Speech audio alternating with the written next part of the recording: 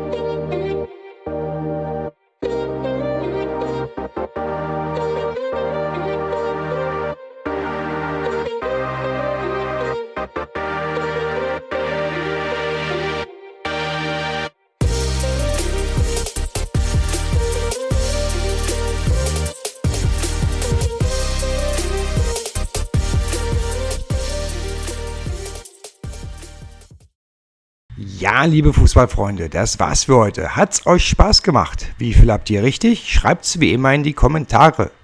Hier habt ihr zwei Playlist-Vorschläge und einen Videovorschlag. Könnt ihr euch mal gerne anschauen. Und nicht vergessen, Werners Fußballecke zu abonnieren. Danke euch, bis bald. Tschüss.